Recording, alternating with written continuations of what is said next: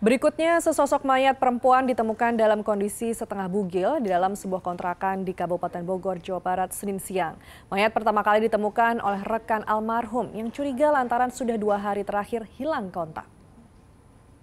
Warga desa Dayeh, Kecamatan Cilengsi, Kabupaten Bogor, Jawa Barat, Senin siang digegerkan dengan penemuan sesosok mayat perempuan dengan kondisi setengah telanjang di kamar kontrakannya.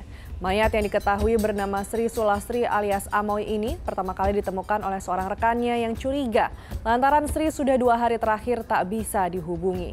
Saat rekan korban mendatangi kontrakan almarhum dalam keadaan tidak terkunci. Saat ditemukan, jasad Sri sudah tidak bernyawa di atas tempat tidurnya. Setelah dilakukan olah TKP, jasad Sri dievakuasi ke Rumah Sakit Polri Kramat Jati untuk kepentingan penyelidikan.